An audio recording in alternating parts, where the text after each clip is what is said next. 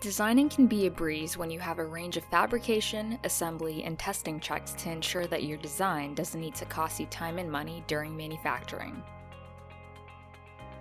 With a vast number of configurable checks and instantaneous visual feedback, it's easy to eliminate common issues before they become a problem.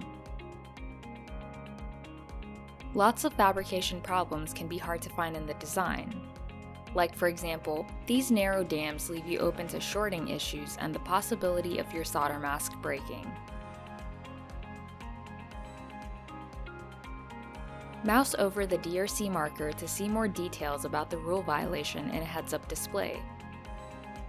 Let's open up the PadStack editor and fix the issue. With real-time assembly checks, we can easily identify and eliminate potential soldering problems while designing.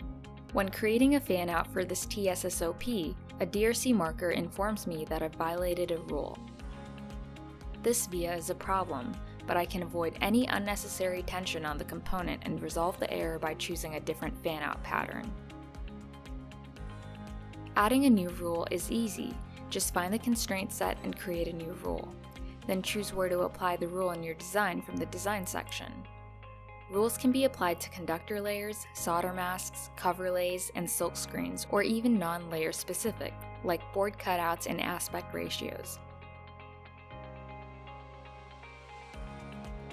Now with the new rule set, we find component pin to other component body violations that might have otherwise gone unnoticed until much later in the design process.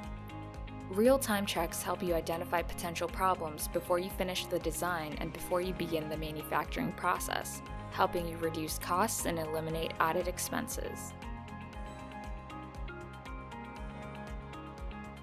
With OrCAD, quickly and easily manage fabrication, assembly, and testing rules for manufacturing success.